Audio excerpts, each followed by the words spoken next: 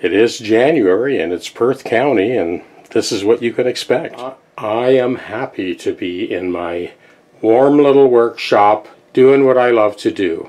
I got this Epiphone Les Paul, which is a Chinese Les Paul, and Tom shipped this one up from Georgia to get me to have a look at it and sort of bring it up to snuff.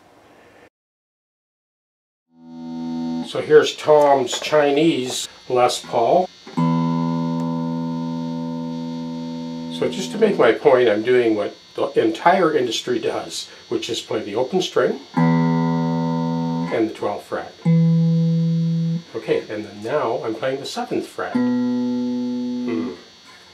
And it's octave 19th. Okay, 12th fret again, open, and the first fret. So I'm purposely tuning this the open string and 12th fret because that's what everybody does, right? Open string, 12th fret, fairly close. Okay, 7th fret, and it's octave,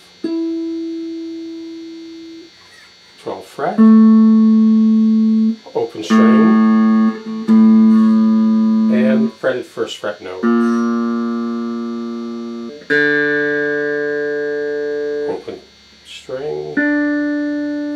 Perfect. Okay, 7th fret. That's pretty good too. There's our octave, 12th fret again, open, and first fret. Okay, these are 9 to 46 strings, a hybrid, and they seem to be the best overall choice for this scale length because it's slightly longer than a regular Les Paul scale length. There's our third.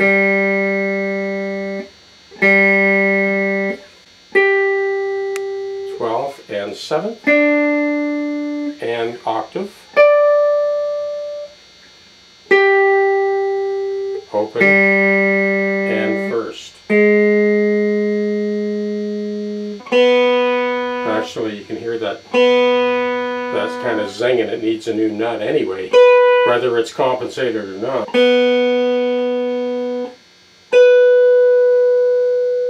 Seventh fret. Good. Nineteenth. Twelfth. And first fret.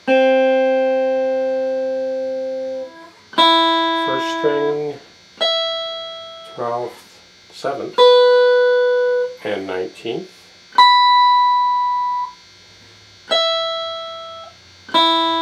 And first fret note. Now I have to point out something else about this guitar that is very weird. This neck is so flexible. I'll just lift it up here by the tip of the neck.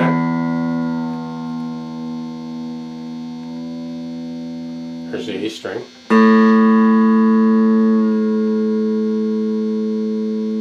Actually right down to a G. There's the D string.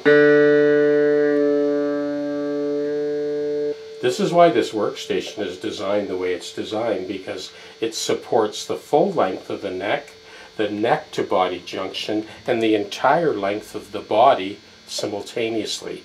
I know a lot of people argue you got to tune the guitar in playing position. Well, you got a neck this flexible.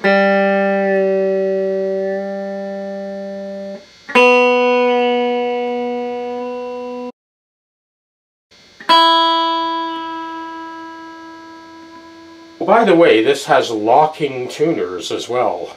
He wanted me to get a look at it, and I did a light fret dress and kind of set it up as best I could. Now, the compensated nut will definitely make a difference, but it'll never get rid of this.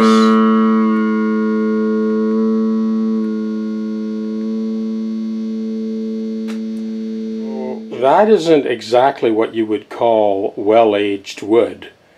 I mean, I think they shake the squirrels out of the tree, chop the tree down, and make a guitar before the tree hits the ground.